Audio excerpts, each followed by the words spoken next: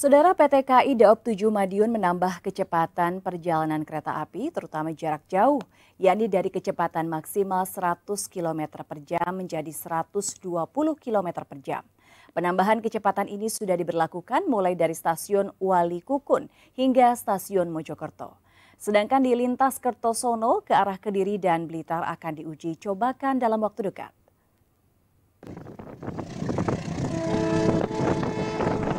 Peningkatan kecepatan perjalanan kereta api telah dilakukan di lintas utama antar stasiun Wali Kukun hingga stasiun Mojokerto dan seterusnya. Sedangkan untuk lintas stasiun Kertosono ke arah Kediri dan Blitar segera dilakukan cek serta uji coba dalam waktu dekat.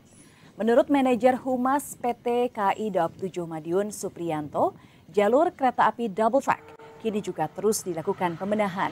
Di antaranya pembenahan bantalan, penambat, pembenahan rel, hingga hal-hal yang berpotensi mengganggu kecepatan perjalanan kereta api, termasuk perlintasan sebidang.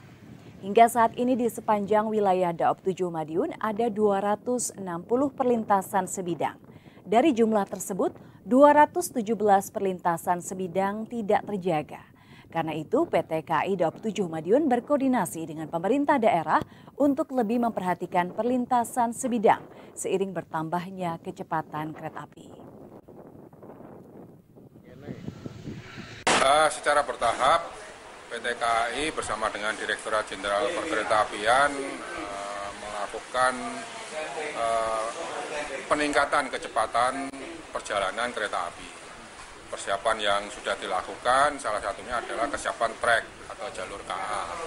Sudah disiapkan juga oleh Direktur Jenderal Perkeretaapian terkait double track, terus uh, pembenahan peningkatan jalur KA oleh Dirjen Perkeretaapian dan lain